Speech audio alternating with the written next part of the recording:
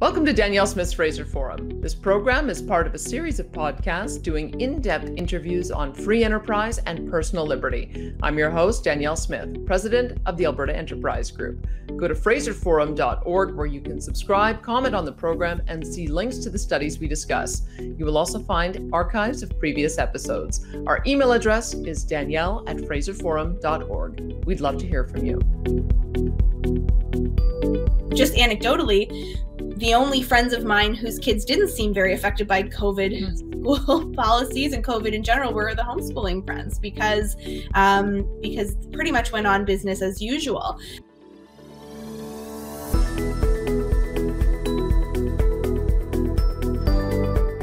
Hello, I'm Danielle Smith. Welcome to another edition of Danielle Smith's Fraser Forum.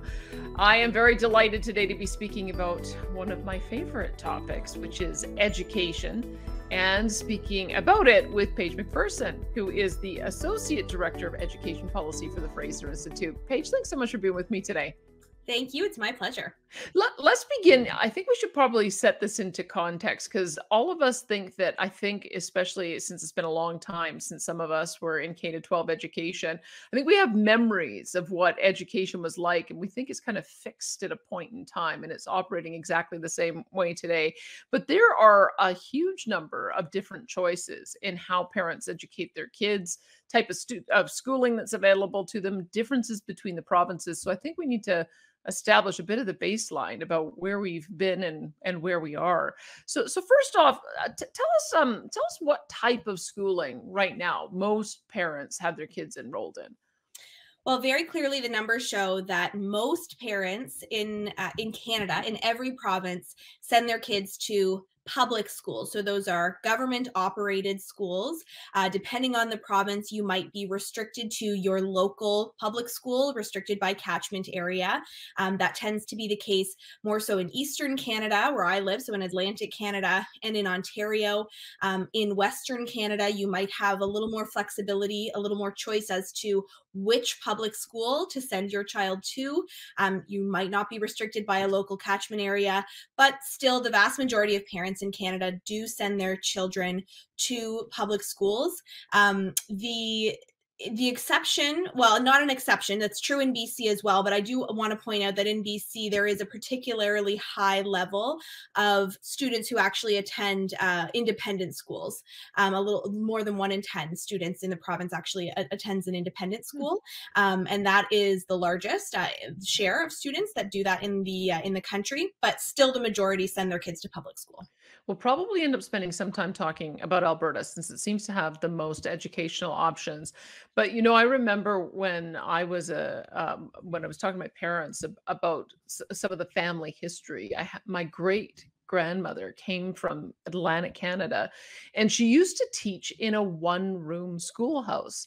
And so you, you have to think about the transformation that has happened in education from those early days when we had mostly agricultural societies to where we are now, it seems almost impossible to imagine that you'd be able to operate a one room schoolhouse and yet that seems to be perhaps a new trend that that uh, everything old is new again one room schoolhouses sound like they're making a comeback yeah, that's right. It's a really interesting time in education because uh, a lot has been spurred by the pandemic. So, um, parents and, and students began to make choices that are different than the choices that they might have been making before, whether it was related to health concerns or whether they didn't really like what was going on in their local school that they attend, whether that be, you know, school closures affecting uh, their learning and causing a lot of interruptions, or the mental health uh, challenges for a lot of kids that come from having to wear a mask all day or distance or whatever it might be. We did see um, parents, and we don't have the the, the Stats Canada data on enrollment on this yet for um, to show the true two year picture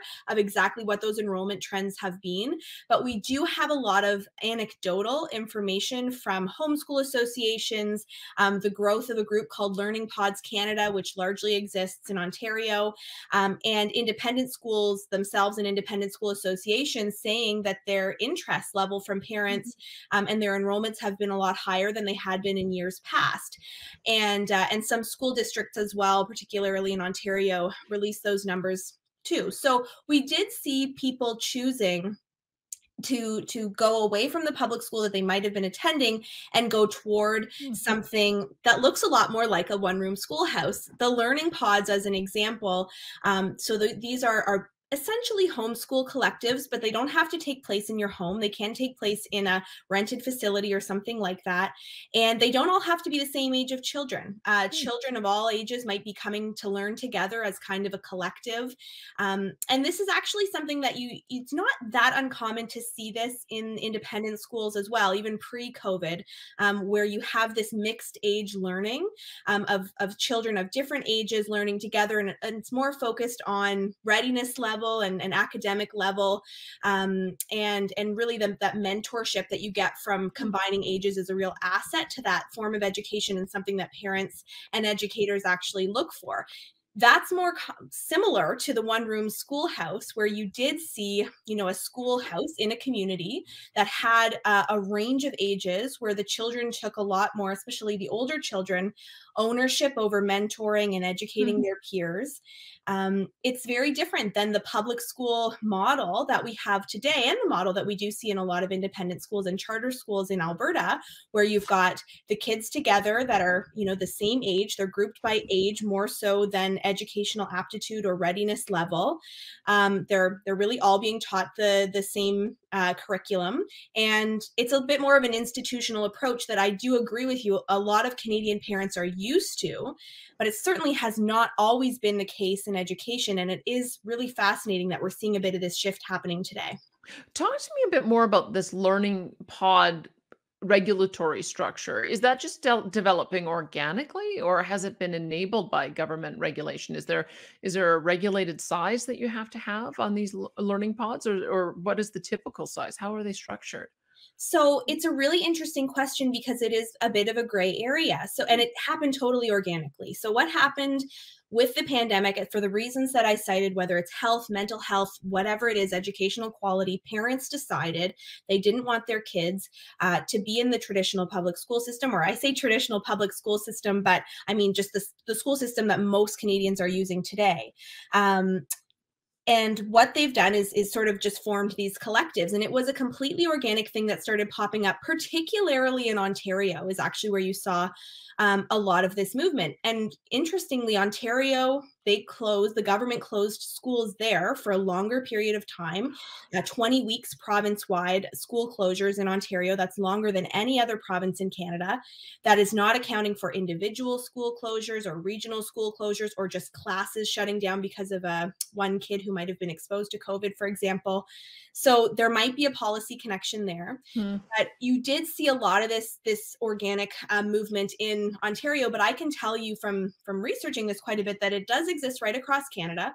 It's really parents getting together um, and forming their own pods of of kids to get together um, to to learn and whether that's taught by a parent or whether it's taught by a tutor or a teacher um, whether that's in a rented space like a daycare facility or there were gyms that opened up for these learning mm-hmm. pods or even a school room that wasn't being used or whether it's in someone's house or maybe it's a rotating house depending on the number of families um, it's it's it happened organically the size um, really the regulations that were restricting the growth of these learning pods in ontario's case was that if you have more than five children learning together you technically are supposed to register as a private school hmm. now that made it so that the you know people who wanted to be above board and operate these learning pods tended to keep it uh, five children or fewer but it was a regulatory gray area and there actually was a mm-hmm. formal group called learning pods canada that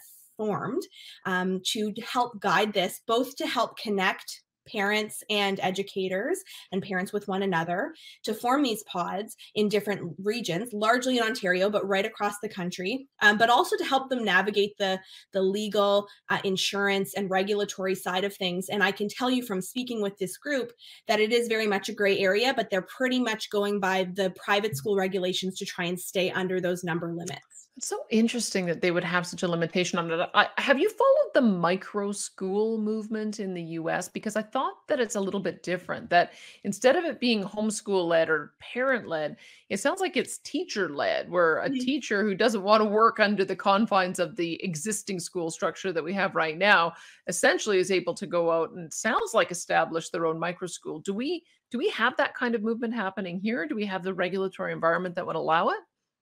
Uh, it's really tough with the regulations, but I can tell you that uh, because I know it's, I mean, the Learning Pods Canada organization started out as a Facebook group. And even just from being in that Facebook group, I can tell you there's a lot of teachers who reach out wanting to form their own pods and attract parents. So it's not just parent led. So I would say that in that way, there is some overlap with the micro schools movement in the US. Um, the US would have different regulations from state to state, and I'm not as familiar with those. But I do think that there are there there are definitely some learning pods that are starting up in Canada that are led by teachers.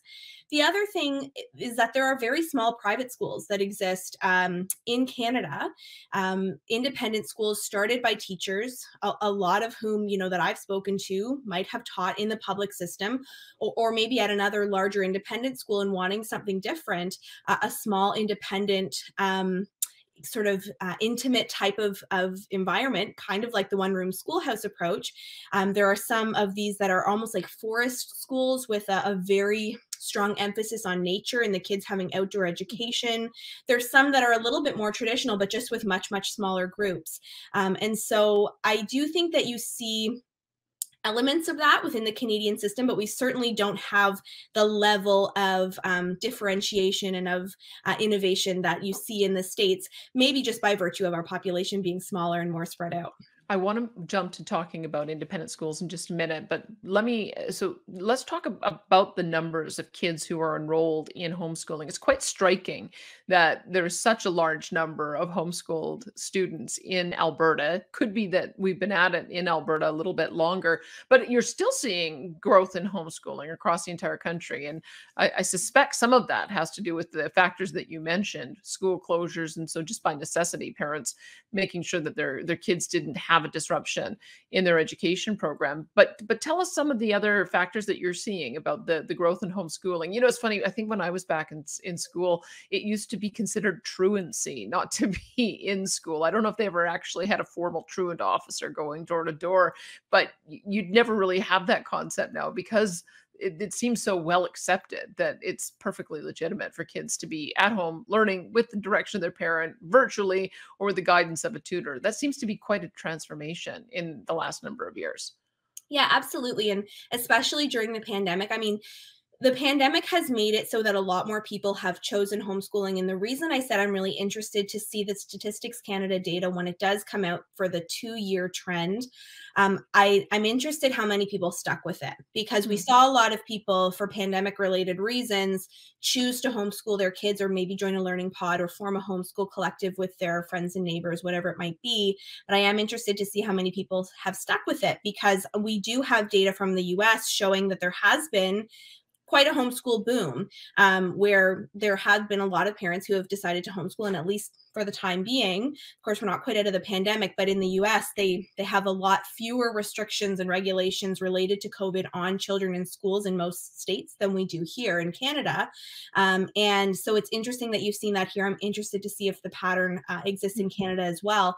But even before the pandemic um, the number of homeschoolers the share of homeschoolers as the uh, of the total population of K to 12 kids uh, in Canada has increased. From 2006 07 it was 0.3% of the population so still a, uh, of, of the population of K to K to 12 students. So still a small proportion.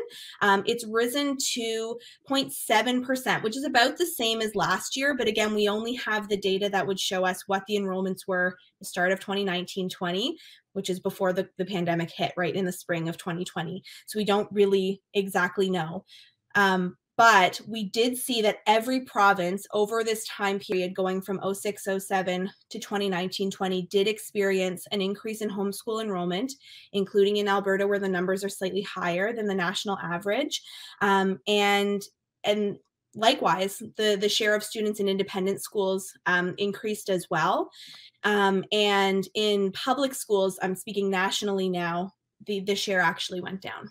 So the not all governments support homeschooling financially. I think there's at least the moral support of allowing it and having enabling re- regulations. But it seems to be, especially when you compare what governments are willing to spend on the traditional model of government run schools the amount that that goes towards homeschooling is is pretty small. And so you have to be highly motivated to to do this as a, a parent or a family. Do you have you explored why that is? Well why isn't there more financial support to, for that type of schooling? Yeah, it's, pretty rare uh, in Canada. I believe it's two provinces that do provide funding for uh, homeschooling families, and it's not the same level of funding that you'd see go to an independent school as an example in, in the provinces that do have that educational choice structure in place where you're the parents a portion of the parents tax dollars follow them to the school of their choice um, it would still be a smaller level of support. Um, so you know i it's it's a good question and i think that the I think that the homeschool community, in many cases, is also acutely aware of the fact that typically government funding comes with more government oversight and more government regulations. And there are, there is a connection between the provinces that do fund homeschooling and the level of, of regulatory oversight that comes from the government. Um, and so in provinces like Ontario and Nova Scotia, where I live, the level of homeschool regulations uh, from the government and oversight it's very low. There's also no funding for those parents. So it's a, it's a tremendous sacrifice that parents would have to make if you're not choosing to stay home with your child anyway. Um, then, you know, one parent has to decide um, probably not to work or at least to work less than they would have otherwise. Um, so it is families that would be very dedicated to wanting to make this choice for their kids. Of course, it gives you the ultimate flexibility in that you can choose whatever curricula or blend of curricula you'd like for your child. You can go exactly at their pace.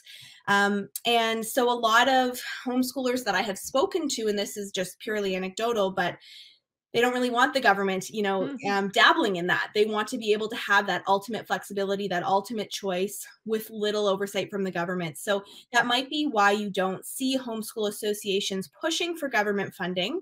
Um, but on the flip side of that you know those parents do pay taxes. They pay quite a bit of taxes that go towards educating children. Um, and we do i think have you know this miscommon or this misconception that comes from a lot of education stakeholders in canada that education tax dollars are supposed to be funding systems. They're supposed to be funding the public school system. And so they oppose educational choice policies that would see money going towards homeschooling families or would see money going towards independent schools but shouldn't education tax dollars be funding students? I mean, that's really the question. Is, is the money intended to be funding students in their education? Or is it to be funding systems in specific schools that certain stakeholders would like those mm. children to attend? It's it's such a great question. So let's go through the other types of of schooling so that maybe we can circle back on that question to see if there's a rational funding model that would uh, that would make sense for the different the different types of options. So you, you mentioned that uh, the regulations for these learning pods that as soon as you get over five students, you have to register as an independent school. Uh, that language, calling it an independent school, I think most people are accustomed to calling it a private school. Uh, but calling it that is a bit of a misnomer. And you go through some of the reasons for that. There's this notion that if you can send your child to private school, you must be an elite family paying an elite level of tuition that isn't accessible to everyone. But you've broken down the numbers, and that isn't the typical independent school, is it? No, the majority of independent schools in Canada are not elite schools, um, and the the the level of um, family income, as an as a, for example, is pretty similar um, in a lot of these independent schools. Um, for a public school family as it would be for an independent school family um, and that might be because a lot of families do um, they they have to make tremendous sacrifices in order to send their children to a public school but it is a choice that they want to make. Um, and so so you're right. I think it's it's a misconception. And when you break down the data it really does show that the assumption that all independent schools or private schools, whatever you'd like to call them, are elite in Canada is very far from the truth. So, what is the advantage then of sending your child to an independent school? I think I think you said that you'd have to sacrifice a lot as a family in order to, to afford a tuition because most of them do have some type of tuition associated with it. But where does the independent school give an advantage? Mm-hmm. Uh, well, families, you know, I think that families choose independent schools for a lot of different reasons. It might be a cultural reason or a religious reason. Um, if you're, uh, you know, a Sikh family, you might want to send your child to a Sikh school. That might be Mm. very important to you. Um, it could be that your child has an exceptional learning need, right? Um, you know, a, a I, I can't I don't know the number offhand, but when I did do research into this in Alberta, I think about um, 10% or so of the schools uh, that are independent schools in the province are actually designated special education Mm. schools. Um, so, it, and I mean, in Nova Scotia, here where I am, the, the government has um, a, a program called the Tuition Support Program. It's the only level of financial educational choice that comes from the Nova Scotia government that funds independent schooling for uh, exceptional learning needs uh, and learning disabled children. So it might be that, you know, they're just not getting the support that they need to be able to really thrive in your local public school and that's why you choose um, that's why you choose an independent school on the flip side perhaps your child or i mean in some cases at the same time perhaps your child is exceptionally academically gifted and you'd like them to be challenged because they're bored in public school Mhm. um, that you might send your child uh, to a, a, an independent school that has a more rigorous academic curriculum. You might send your child to an independent school because it has a focus on sports and the sports program, uh, or perhaps the arts program, drama, theater, um, music is more comprehensive than what you'll find at the local public school.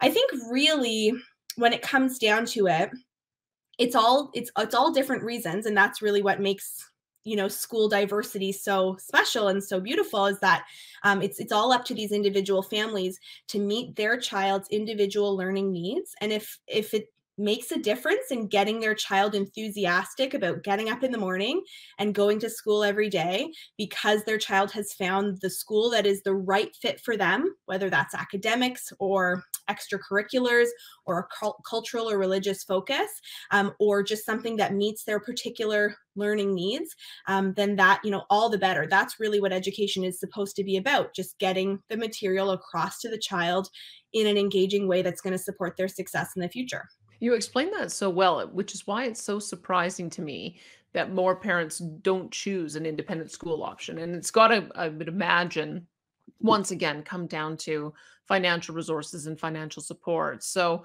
in Alberta, it's a bit confusing because they fund private, uh, uh, independent schools at a rate that is a percentage of the operational student grant. So all of the different types of funding that goes to a school includes plant operations and maintenance there's capital budgets but if you just look at the at the operating uh, student grant then it, the private schools get as i understand it 70% of that grant but i think it's probably more generous here than it is anywhere else. You can correct me if i'm wrong on that but is that a typical funding model for those independent schools is they don't get the full amount That's typical. So, of the provinces that do offer funding to independent schools, that's a typical model. It, it definitely varies. The amount varies, so the percentage varies. And even within Alberta, different schools get different levels of funding. Uh, there might be um, a different structure based on um, the type of school. Uh, there might be, uh, and just just different regulatory structures in each province. So, different independent schools might get different levels of funding, but they can typically get up to a certain percentage, and that and that's what you're referring to it's not the full amount um, that would um, be given to a public school to educate a, a child. Um, Mhm. and it's certainly not, in most cases, the full amount to cover a child's tuition at an independent school. But as you say, it's it's based on a per student operational grant. And what is the psych uh, what was the rationale behind that? I think it, it strikes me just where we began that there must be some misconception that only rich parents are sending their kids to school, therefore they don't need the support. But when you look at the numbers, if the average income is the same as those who are sending their kids to a traditional traditional school, it's almost like the policy hasn't really caught up with the reality. Is there is there some argument that could be made for why that amount should be enhanced or equivalent? Well, there's certainly, yeah. I mean, there's arguments on both sides. I mean, there's there's arguments that certainly come from um, education stakeholders such as organized labor, the teachers' unions that strongly push against funding for independent schools. Hmm. Um, in some cases, they push against funding for charter schools. In the case of Alberta, certainly. Um, and and for homeschooling for sure um, and you know those interests say that public tax dollars should be going to public schools. Um, it's a bit of a misnomer because public education really mean, the public is everybody, right? So there's lots of people who are within the public um, that choose to send their children to edu- uh, independent schools or might homeschool their children or, or whatever it might look like.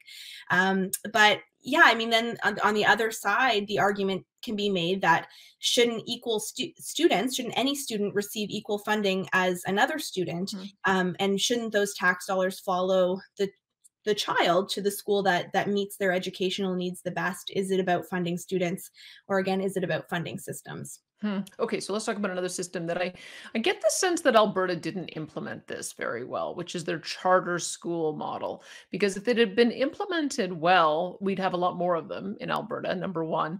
But number two, I think you would have seen it take off in other jurisdictions since it's been in operation. I think you wrote for more than 20 years now. So there, so you'll have to explain since it, it's probably not a very familiar term to most people. What is a charter school? What's the difference between a charter school and the independent schools we were just just talking about. Mm-hmm. So, a charter school um, is a school that is funded by the government um, in in terms of operations. Parents do not pay tuition. They are public schools. They are public charter schools, but they are not part of the same government public school system that we were just talking about. Mm-hmm. Um, they are nonprofit schools, um, but they are autonomous so they function independently um, they they do not function as part of the government in the same way that other public schools do they are autonomous schools they have a charter that um, it's basically a specific reason for having the school, a specific reason for existing. So, whether it's an art school or a music school or a sports school, or perhaps it's an English second language school, um, there's an Indigenous charter school. There's hmm. there's different types of charter schools that exist. Um, there's a rural education charter school for a focus on rural culture it's a model that actually does offer a very unique educational approach um, in that they are funded and parents don't pay tuition at these schools um, and but they do they do offer for uh, they do offer a lot of educational diversity relative to the public school system that most parents are used to. And i think it's unfortunate uh, in a way that it hasn't expanded to to other provinces. As you said it's been operating in in alberta for more than 20 years. They have very impressive results on on student tests um, quite impressive relative to public schools and, and even relative to independent schools in the province um, on an overall basis. Um, when you look at the grade six and nine provincial achievement tests in Alberta, as I did a few years ago, um, charter schools in Alberta almost always outperform uh, mm. all other types of schools. So it's a really interesting model. I think that there is a lot of um, a lot of potential there, but as you said, there are these it, wasn't implemented perfectly. There was this cap put on the number of charter schools that could exist in the province, um, and that made it very difficult to um, to operate a charter to open a charter school in alberta really. That was the the barrier was to opening a new charter school. Um, and and that has since been lifted by the government in alberta so you may see the growth of charter schools expand. Of course, COVID has sort of put a, I'm guessing, put a roadblock in front of some of the development that might have been going on in the province. But we have heard about other ones. I know that there was a STEM charter mm. school um, that was going to be started in Calgary. Um, I don't know if that one got off the ground yet, but um, there are other reforms that could make it easier to see more growth of charter schools in the province, um, but it's it's certainly a, an interesting model that exists elsewhere in the world, in Europe, in the states, um, but nowhere else in Canada. That's remarkable. Yeah, and that's the STEM school. I have interviewed the the uh, the founder of that, and so they did manage to fast track it and get it through the process. And I'm hoping that that would be one that other school other provinces would look at because when you look at how fast technology is moving, so science, technology, engineering, math, to have the innovation that can come from having a, a, a school that's uh, more readily able to incorporate those new developments. I think that that is one of the, the principal advantages, and I, I would hope to see that it would go into other uh, into other jurisdictions. Okay, so we've talked about these different types of, of of schooling systems that are available, but the vast vast majority of parents put their kids into what we sh- I think you've called government run schools, public schools. So so tell us um tell us a, a little bit more about the structure because that isn't even uniform across the entire country either. Mhm. The structure of of public schools, you mean? In yeah, Yeah. so so certain provinces have school boards, uh, cer some provinces don't. Um, eh, Nova Scotia, for example, eliminated school boards, um, and these have sort of an oversight of of public schools, um, in the country. There's also a a differentiation between provinces. Some provinces have both public schools and public Catholic schools. Um, Ontario, for example, where I grew up, you see both of those school systems. They're very similar. They're not I think Catholic schools in Ontario are more similar to public schools in Ontario than Catholic school than they are to say Catholic schools in British Columbia, where they are more cl- closely tied um, to the Catholic Church and Catholic teachings. Um, so you do have that and and there are some options that exist you know within public schools and they tend to differ um, from province to province but every province offers some level of french education within the public system. So there's francophone schools um, there's french immersion programs. Some schools offer uh, ib in high school which is sort of an international uh, program that um, a little bit of an enriched academic program that kids can join um, in public high schools in Canada, and that exists to some extent across the country. Um, but by and large, public schools are attended by people you know within the local community um, as i mentioned earlier many of them in canada are bound by catchment areas which means that kids have to attend their local public school. They really mm-hmm. don't have much choice in the matter.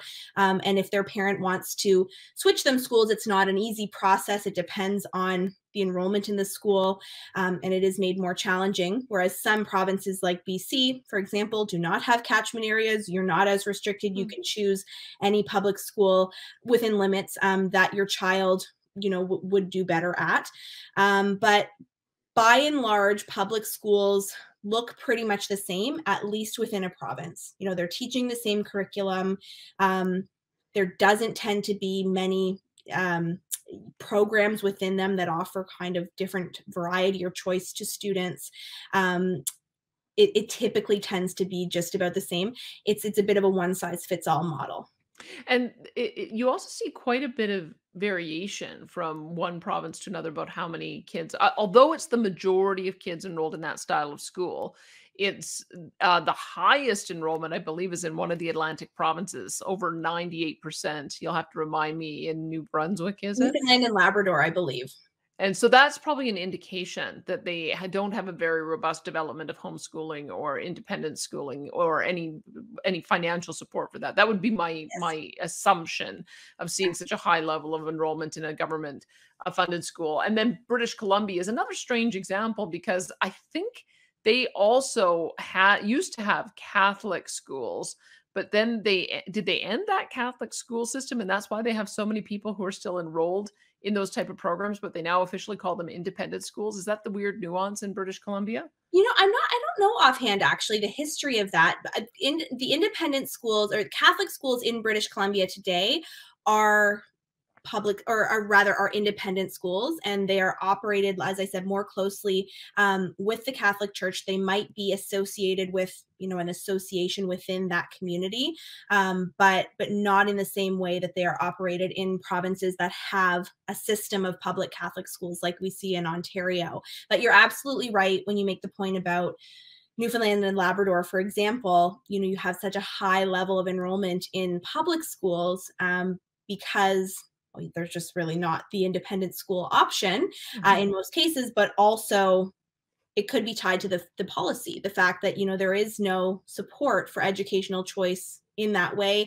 Um, parents' tax dollars do not follow their child to an independent school if they choose to go there or to homeschooling they will only go to the public school which essentially means that parents who want to choose an independent school for their child are paying twice right mm-hmm. you're paying tuition at the, the independent school but you're also paying quite a lot of education tax dollars to support the public education system You'll have to explain. I'm, I, I, I had it sticking in my mind when you said it that in Nova Scotia they have no school boards. I'm trying to imagine what that might look like because Nova Scotia, I mean, it's a, a, a large jurisdiction. So you would, ha- I don't, I'm trying to think offhand of tell us how many kids would be in your school system because, or in the overall enroll i can't even call it a school system. I don't even know how to talk about a jurisdiction that doesn't have school boards. So how many kids are there in nova scotia? And then tell us how those schools operate if they don't operate under the umbrella of a school district so I don't know the total enrollment number offhand in Nova Scotia. Nova Scotia is a province of close to a million people.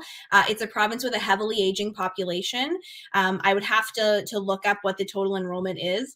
But so basically, what happened was they eliminated elected school boards in Nova Scotia and they amalgamated it into it's almost one government committee, mm-hmm. um, and uh, with appointees. So that's that's how the decisions uh, are made just made by this this government committee and so it's basically closely tied with the provincial government. Has that been successful or do you have you heard any concerns about that? It sounds like we did something similar in healthcare and it hasn't right. been an entirely smooth path so i don't know that i've heard any controversies one way or the other so do you know if it's working well? Yeah so it's sort of it's an interesting uh, comparison with the um, amalgamation of, of health um, in uh, in Alberta of the health authority, um, and and you know that's another thing that looks different from province to province. There was a lot of um, pushback when it happens, mm-hmm. certainly from a lot of education stakeholders in the province, from a sort of democracy perspective.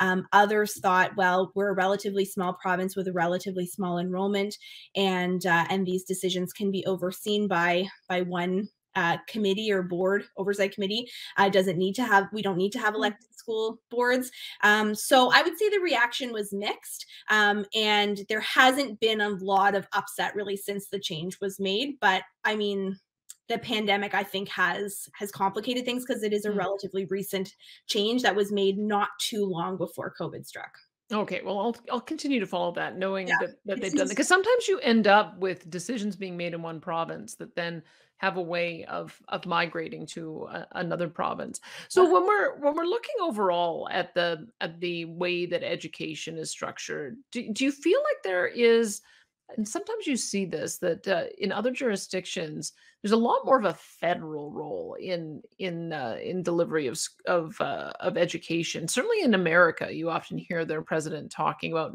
no child left behind um, and so to have this uh, such differentiation between provinces is that is that healthy is that uh, a, the best way to structure it why is it that we're so different I think it's healthy. Um, I think Canada is a very large and very, um, very a big, very big country, both land wise, but also I think that the regions are very different from one another, um, and and decisions are are are best made locally um, when it comes to, in my view, healthcare and education being provincial jurisdictions. I do think makes sense, um, but they're also I think important in that discussion is standards, right? Mm-hmm. So uh, sure, absolutely, like let's allow. I mean, I'm a big believer in diversity in the education system in general general, whether you're talking about local schools and all different types of independent schools and learning pods and collectives and homeschooling. I love to see all of that and, and choice within our public school systems as well, to the extent that that can exist.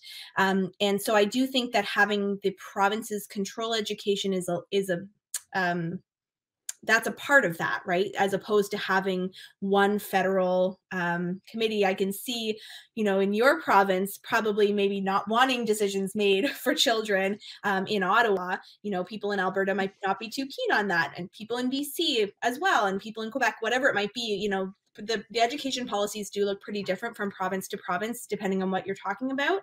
Um, and so i do think that that is uh, a good thing but there do, there do need to be standards. So in that, I do think it's very important that all provinces have a level of standardized testing for students to ensure that they're keeping up with their provincial colleagues and also that they're keeping up with international um, peers, right? So there are international tests like the PISA standardized tests that do test children in Canada, um, but we could have more comprehensive provincial standardized testing regimes that really don't even really exist um, to the extent that they should in many provinces to ensure that kids are keeping pace with one another mm-hmm that schools are keeping pace with one another. And this is, I think, particularly important if you're going to have educational choice policies. Um, trying different things, right? Innovation within the system, that's all good, but we need to make sure that the students are all performing well um, in our public schools and in our independent schools. Um, and, and then just making sure that the provinces are, are keeping pace with one another, I think is just very important. Um, so having that decentralization, I, I do believe is good as long as we can ensure that no kids are falling through the cracks. Talk to me a little bit about standardized tests because I, I think I've, I've never really fully understood the pushback that that the uh, the teachers unions have on that. I guess I I, I have always felt because I was uh, on the school board in Alberta in the 90s and then on a private school board as well. So I followed education for some time. I've always felt like we should be doing the Canada basic skills testing. Uh, can you read at grade level? Can you write and comprehend at grade level? Can you do the math at grade level? If you if you do that test at the beginning of the year to see what your starting point is, and then at the end of the year to see how much you learned, and then do that every year, you'd have a really good record of how each student was pro- progressing on an individual basis. And I I don't know if the achievement tests that each province offers it seems to me like the constant argument that you hear from teachers is you're teaching to the test. Mhm. And I'm not sure I understand what the difference is between the two. And isn't there some common ground that can be that can be held there? Because teachers surely want to know that their kids are are, are progressing from one grade to the next just as much as parents do, don't they? Mhm. Yeah, standard. So, so at the Fraser Institute, we put together report cards um, in the provinces that offer comprehensive standardized testing, where we can rank schools based on the standardized test scores at those schools.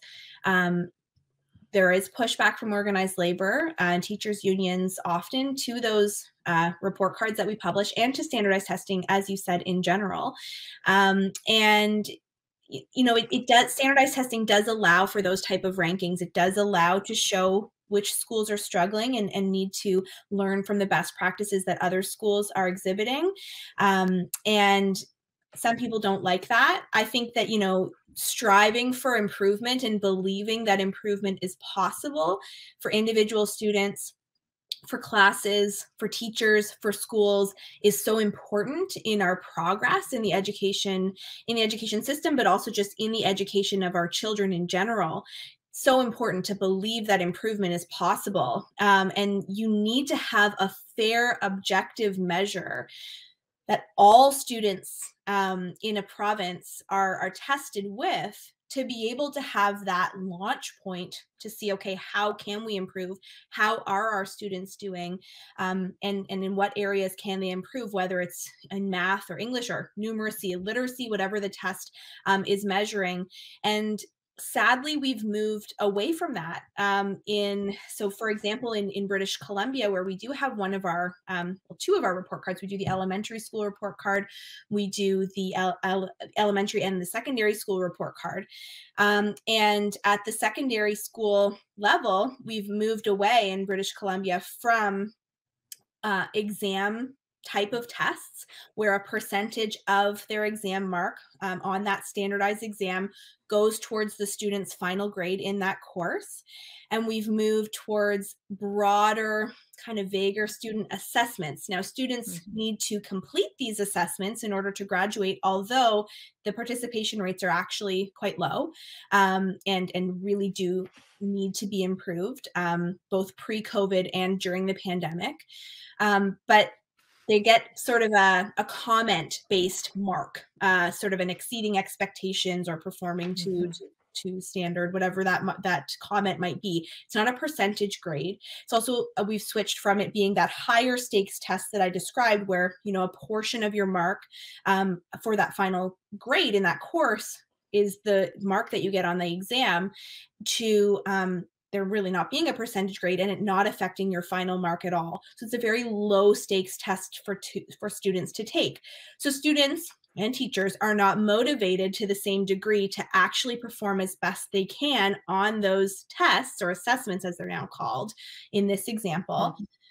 And that makes it harder for us to really know how students are doing. It's not that fair objective measure by which all students um, are tested uh, to really give us that baseline of understanding to know how students are doing. Because if the stakes are really low and they they just need to complete the test they can just scribble whatever they want on the page hand it in and, and there you go the test or the assessment is completed. Um, so we are seeing this shift in canada away from standardized tests that are just so important to know how students are doing i would say particularly so in the era of covid where there has been so many learning interruptions so much interruption to classroom learning so much learning loss that parents are saying has has occurred in their children um, and experts are saying as well.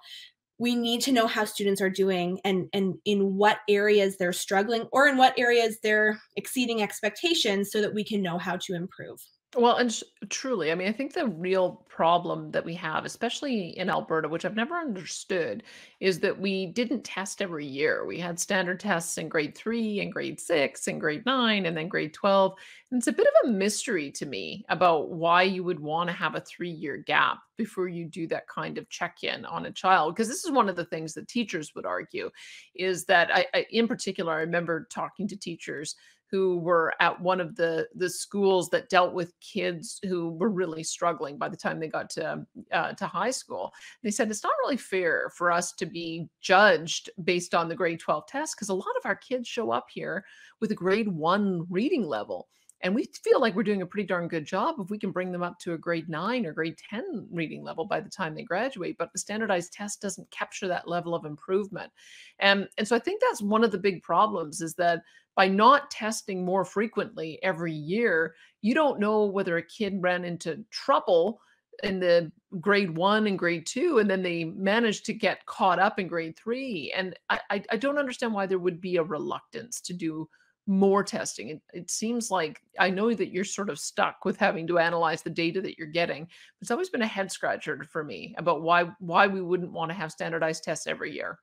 Yeah, it's a good question. I mean, it also would facilitate more adaptive learning, you know, to allow teachers, as you say, to to see how students are performing, be able to adapt um, and and in their education for those kids, um, and really tailor it more so.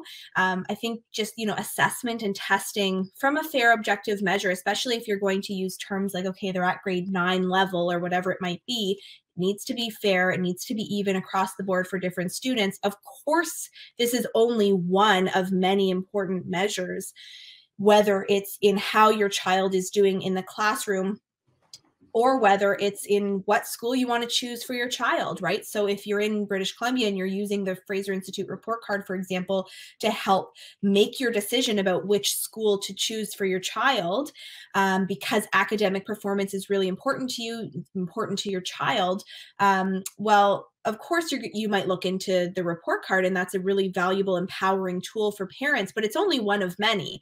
Uh, you might talk to other parents in the community. You might talk to the school administrators at that school or talk to somebody in the ministry of education. Um, you there's so many different um, measures that parents can use and, and education stakeholders can use to see how schools are doing, to see how students are doing. And obviously, teachers are, are going to do their own other types of assessments of children throughout the year. Um, but standardized tests are really the only fair, objective measure that we have to track student performance and make sure that they are up to standard really so that they're not falling through the cracks because if they're not um, if they're not meeting those expectations it's going to be you know so much harder for them the next year without having those foundation stones laid in place. Um, and of course if you're in a province that you know your schools are really struggling compared to another province if you're an education policymaker in that province, you're going to want to look to the province that has the best performing schools and say, okay, what are the best practices that they are employing that we can learn from them, talk to them, try to emulate some of what they're doing and, and do it in our own province to improve? There's just so many uh, important things that can come from having that fair objective measure that it is it is disappointing to see the the level of pushback um, that they're getting but that's the reality. I mean there is an organized push going on right now in british columbia from the teachers union and other uh, some other education stakeholders to eliminate standardized testing for mm. students in the province saying that you know we've had gaps in this testing during covid. There has been gaps in bc there's been gaps in other provinces as well where these tests just haven't taken place. Of course the learning interruptions that happened during covid have impacted how students are doing I would argue that's why we need testing to measure where students are at so we can improve upon it for every child. Um, but some argue that, well, that just means we should, you know, throw the tests out the window. Um, they're completely pointless now. And, uh, and I think it's really unfortunate that we're seeing that, but it is quite an organized push that's happening in Canada right now against standardized testing. Well, you're very right because you've done uh, a Leger poll, or there was a recent Leger poll. You'll have to tell me if you commissioned it or if you were just uh, writing on it. That that shows shows that parents have a level of concern that their kids have fallen behind during COVID. And they should have something more than just a gut feeling that things are not going well. That's part of what testing does. If you can do the test, find out that they are behind, then it allows you to do remedial work or hire a tutor um, and I, it, but it does seem like public opinion polling on that is is not the most accurate way of testing. I, I would rather see a standardized test so that you can be certain that kids are either falling behind or at grade level. So get, tell us a little bit about that about that that poll so you can we can get a little a sense of how anxious parents are. Yeah, so we commissioned a poll with Leger um, that did interview a thousand parents uh, of kids in K to 12 education right across the country um, to give a representative sample from each province. And um, what we found was quite a high level of concern amongst parents in the learning loss that occurred as a result of not just COVID, but the government's response to COVID. Because I mm-hmm. do think it's easy to kind of say, oh, well, this is all spurred by the pandemic. But, and of course, this is an unprecedented situation, but government policy responses from province to province differed. You know, we talked earlier about how Ontario did close uh, schools, public schools, for longer than any other province did. So the policy response is really important here, too. Um, what we found is that nearly 70% of parents nationally feel that their child has fallen behind to some extent as a result of the pandemic and the government's response to mm. it.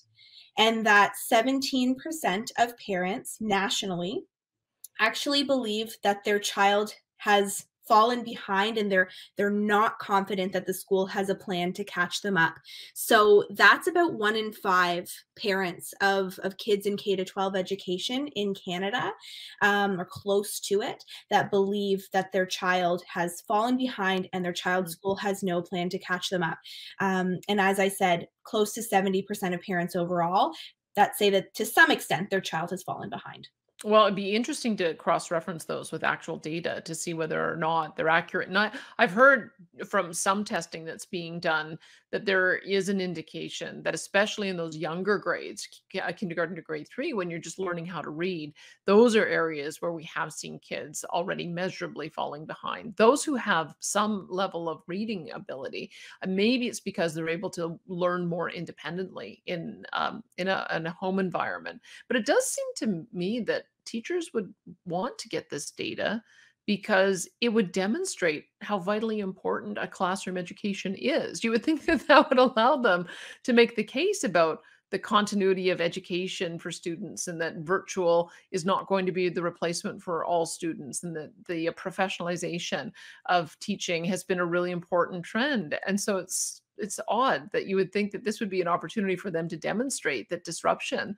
has caused problems that would that would really in my opinion, really reassert their role as as educational professionals. What am I missing?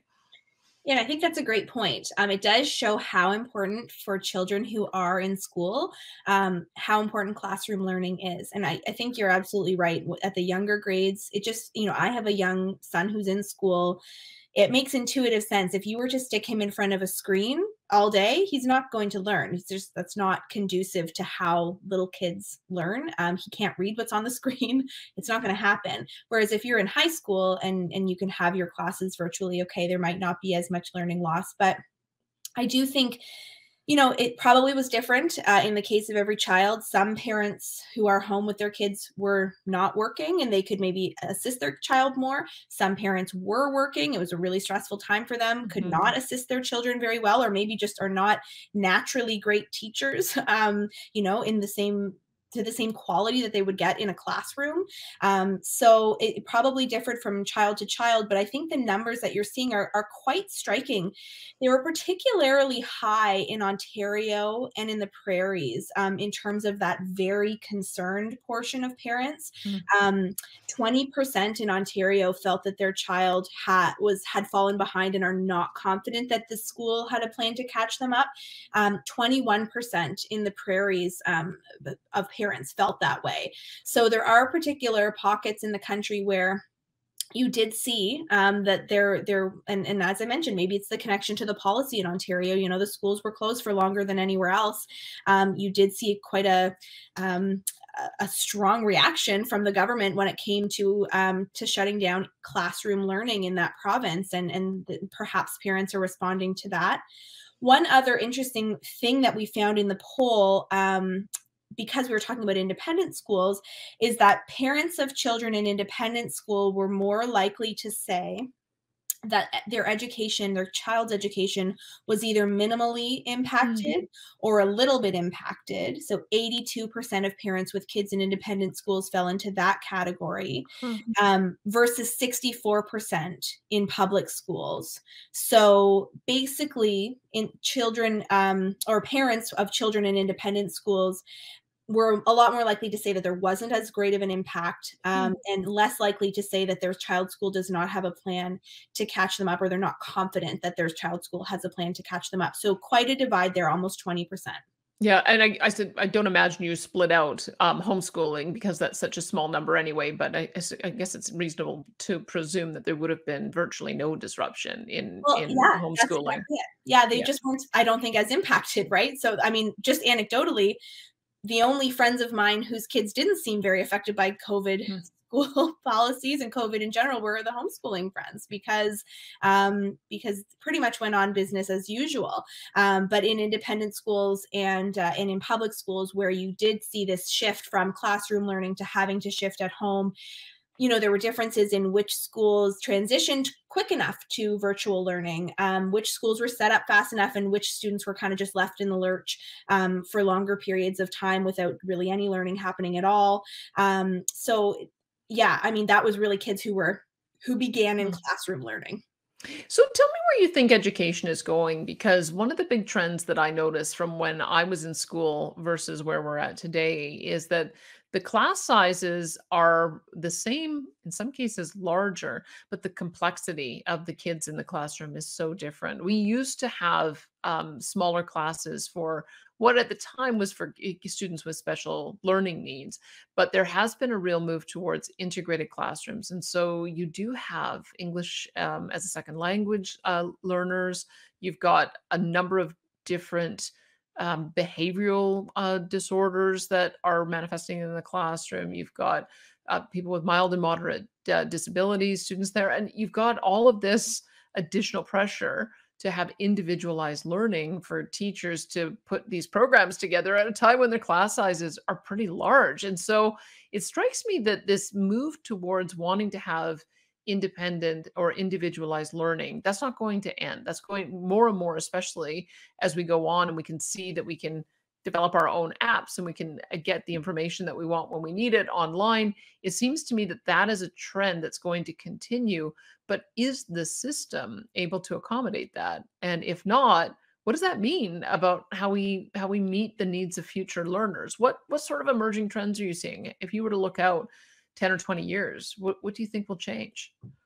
Well i do think that you know we've seen um, pre-covid a move towards more people attending uh, more children attending independent schools and homeschooling and fewer children attending um, public schools in in almost every province. So in alberta and uh, and and there was so it's eight out of ten provinces. Alberta being one of them where actually the, the public school enrollment um, actually uh, increased um, and independent school enrollment actually uh, marginally decreased mm-hmm. over this period. But in general so just to give give a picture of uh, independent school enrollment, nationally speaking, from 2006 to 2007, 6.7% nationally of students were enrolled in independent schools. To 2019 20, 7.6%. Um, so it was a marginal increase, but I mean, you're talking about a small portion of the overall K 12 student population as it is.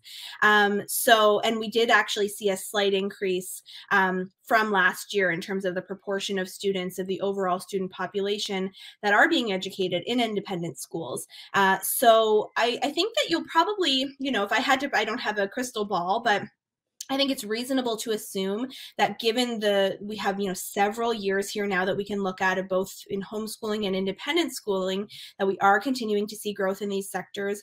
And you know as I, mentioned I'm, I'm, interested to see um, the impact that the pandemic will have and how many people actually stick with that.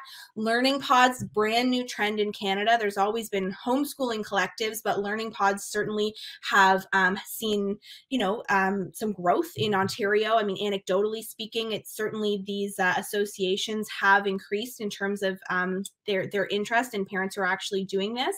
So it'll be interesting to see how many uh, children do shift to that.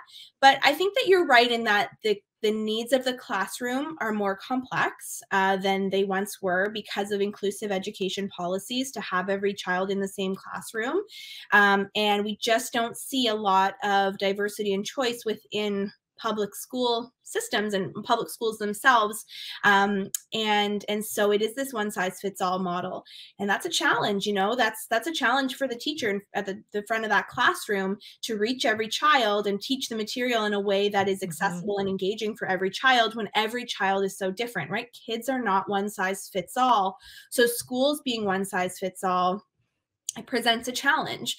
Um, and so you know without having a crystal ball i guess it's just up to to families. It's up to parents to to see um, are they going to make these these choices for their kids which often do involve financial sacrifice?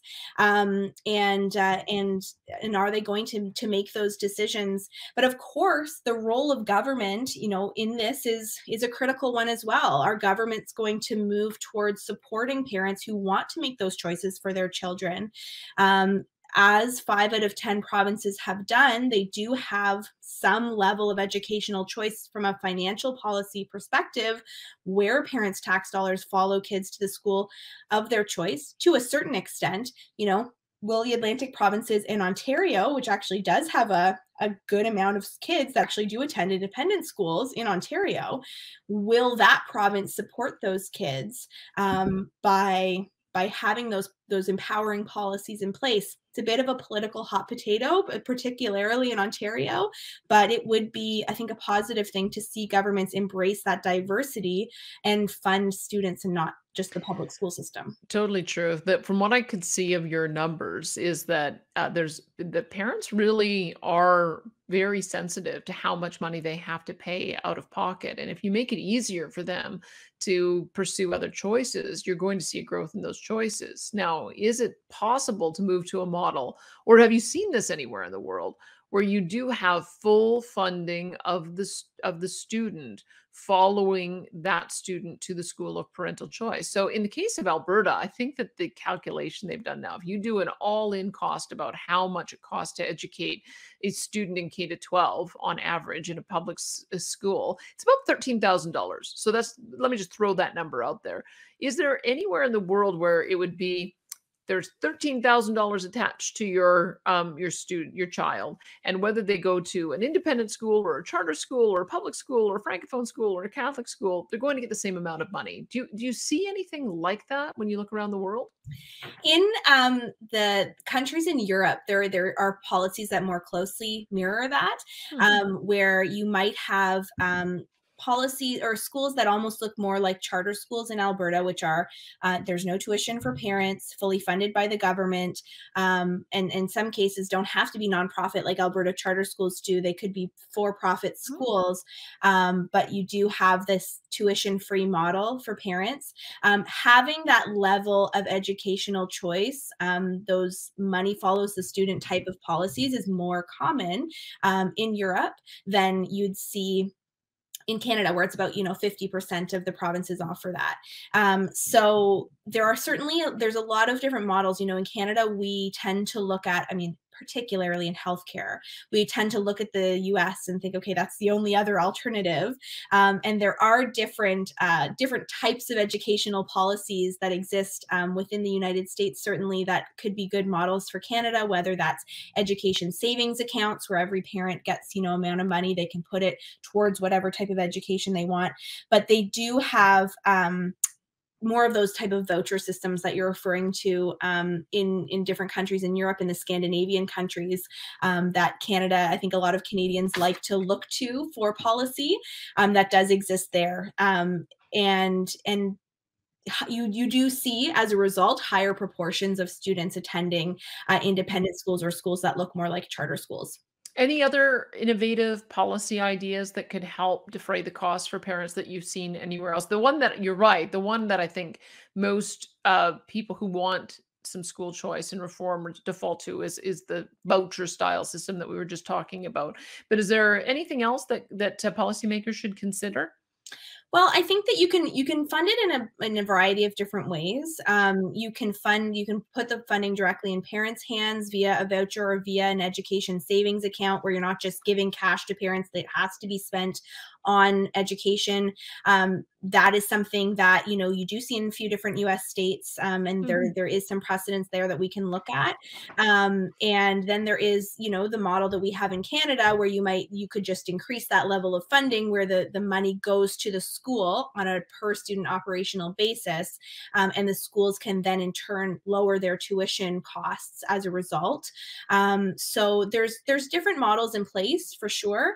Um, then there's the charter school model, which allows for more autonomous public schools that are tuition free for parents. Um, and as I mentioned, you know, from the US to Alberta in Europe there's there's differentiation even within that model that you can look at um, allowing those schools to be for profit versus nonprofit there's a lot of diversity in how education systems can be funded certainly the one size fits all local public school model that so many Canadian kids um, are part of is not at all the only mm-hmm. model of education that's out there. Um, there are certainly models that support a great deal more diversity within the education uh, systems and in, within the education of students in general.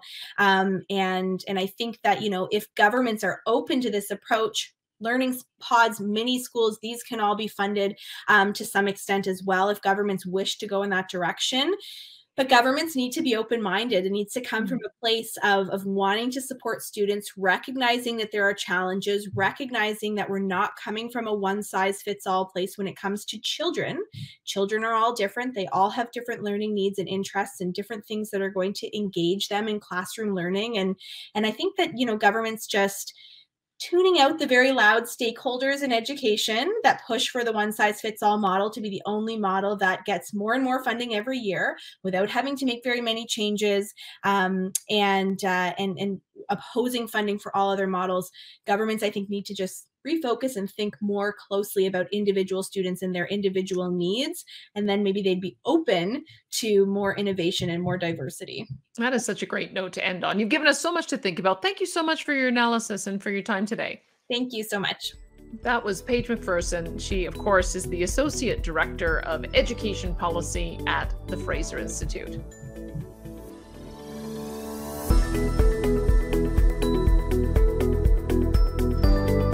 We hope you enjoyed today's episode. If you like what you heard, be sure to subscribe on YouTube and wherever you stream your podcasts. And to stream old episodes, learn more about the show, and where to subscribe and submit your questions for future guests, visit fraserforum.org.